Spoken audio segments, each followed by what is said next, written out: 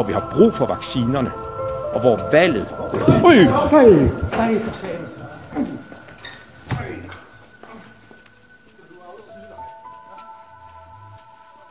hvor vi har brug for vaccinerne, og hvor valget... Øj, nej.